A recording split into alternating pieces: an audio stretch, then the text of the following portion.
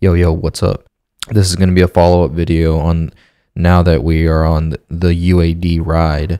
I thought I would do an updated my favorite UAD plugins currently and what I've been using the last few years, especially since my last video. That one kind of went a little crazy. So, the LA2A Silver, which I mentioned in my last video, 1176, the Rev A specifically. I have the SSL channel strip, which is really nice. I have the UAD SSL bus compressor, which I kind of fell in love with it recently, um, probably the last like couple months. But uh, yeah, I'm going to talk about the EMT 140 and the AMS RMX uh, reverb. This is my favorite. Usually when I set this plugin up, um, I keep it in. Every now and then I'll mess with the limit mode because sometimes that can sound really cool. But usually I just keep it in the compression uh, mode. High frequency knob, I usually just keep it default. I just leave it as is. I like to shoot for peaks to be hitting around five to seven. I feel like specifically with this plugin, that's where the magic lives on this thing. So I'm gonna play the full mix for everything for this song.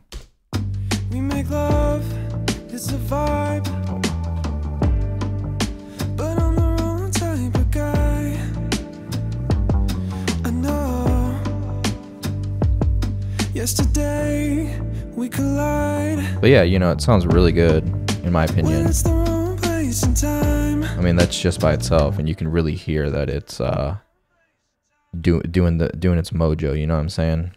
The second one is this 1176, the blue stripe, aka the Rev A. I don't usually use this on vocals a lot.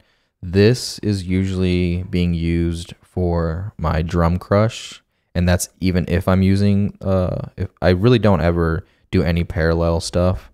But when I do, um, this is the compressor that's on there. So let's see, like if I break down this section and let's just say I sent all of this to the drum crush and let's do this.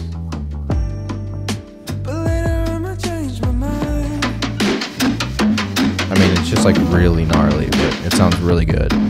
Um, obviously, like I have other things going, but but a lot of the crushing obviously is being done by this uh, specific plugin.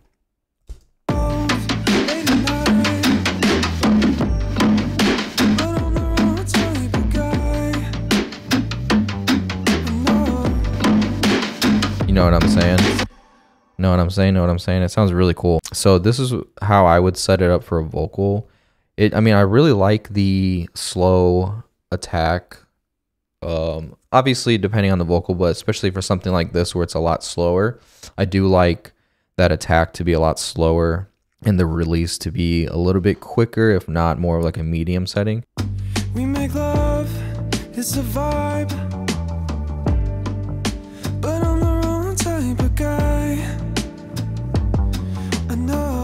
And I like this specific 1176 versus the other ones because this one's a little bit more dirtier in my opinion. And it does something to the top end that I like. It's a little crunchy. And sometimes you can use that to your advantage with just using this compressor and getting that vocal to really cut through. A ratio of eight can sound really cool with this thing. We make love, it's a vibe. You know what I'm saying? Like it's it's a little bit more in your face. You can sound cool.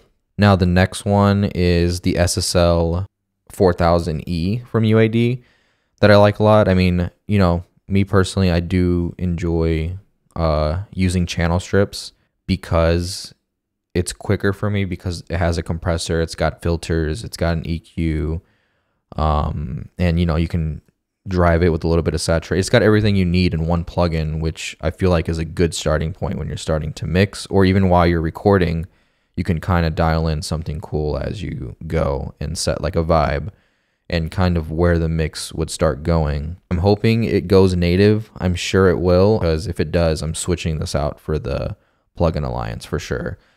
Um, I think this one sounds the best though. Out of all the SSL channel strips, this one is definitely top dog for sure. Uh, especially this, um, I think this is a transformer. Having this button alone uh, is like a game changer. It sound it just sounds really good. Um, but you know, like I said, I'm just choosing this one because I think it sounds the best out of all the channel strips, in my opinion. And I always think it's a good idea to own a channel strip, especially something like an SSL or an API, because it also, if you're you know new to this, um, it helps you understand signal flow and stuff, and kind of just keeps it fresh in your mind. So typically, what I would do for setting up a channel strip for a vocal. I really like the compressor on this. Um, it sounds really good, and it's usually my first compressor in a vocal chain. Um, the filters on this plugin sounds really good, and in general, on an SSL, in my opinion, they sound really good. We make love, it's a vibe. So you know, usually I'll cut out like 120. Um, a little bit of two, 200 to 300, you know. Just you know depends on the song depends on the voice but usually then maybe five to seven hundred a little bit of that honkiness. Kind of a little bit wider Q for that. And then especially if it's a singer get that 2 to 3k out but a little bit a little bit pointier Q um, and then ratio for me, it's always 4 to 1. I'm assuming this is 4 specifically on this plugin. Um, and then a little bit slower. Sometimes I'll keep the release straight up. Because to me, and the way I like to think about it, it's more of a medium release.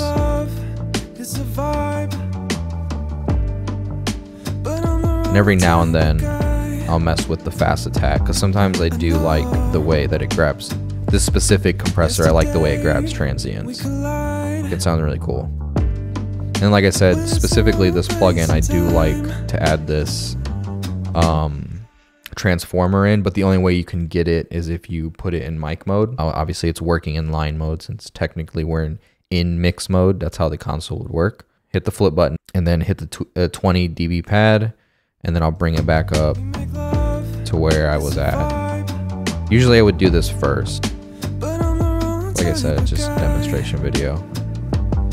And then I'll kind of just uh yesterday we collide. When it's the wrong place and time I don't know what it does but it's like it's a little bit thicker and silkier. That's the only way I can explain it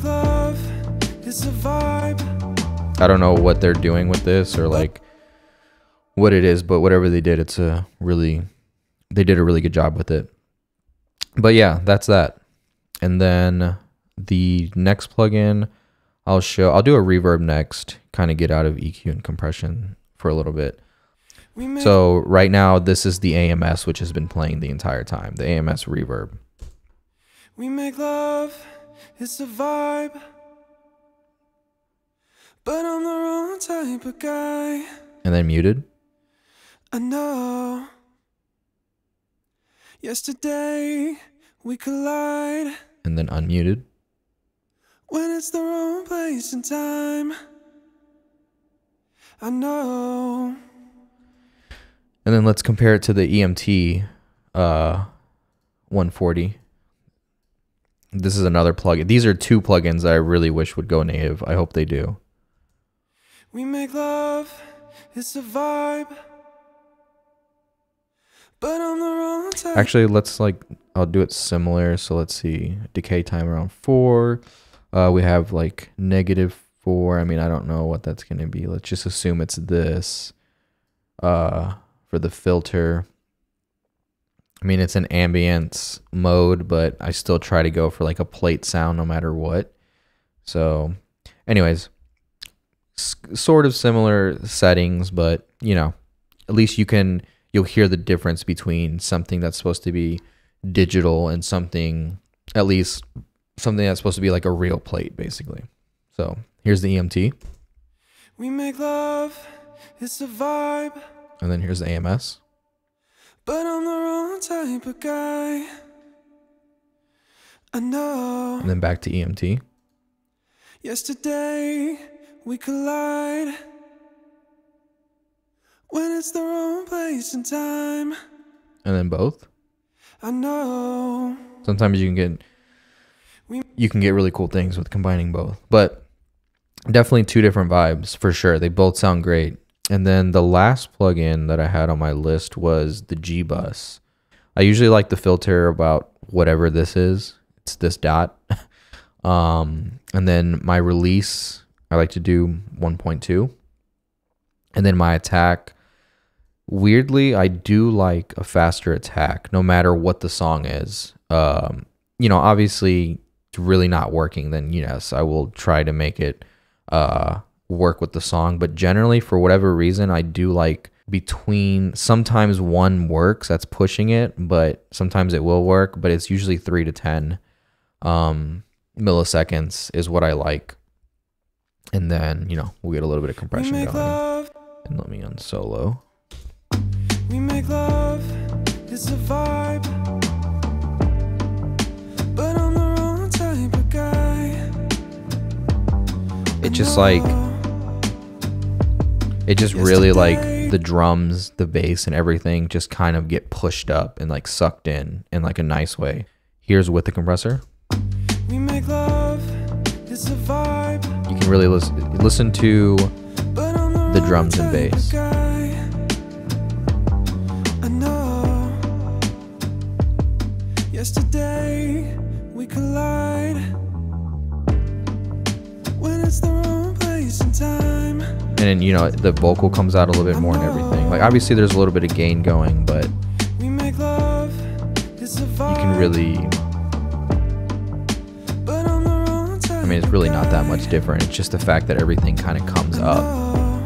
Um, specifically the vocal and the drums and bass always come up.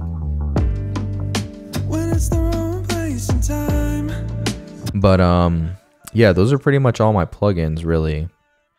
You know, it was a really quick uh run through. If you want me to break down something more specific, just let me know and I can do that. But otherwise, I mean, yeah, these are pretty much my top favorite UAD plugins as of now, both native and Spark, and these are available in both. But yeah, this is it. This is pretty much all the plugins that I like.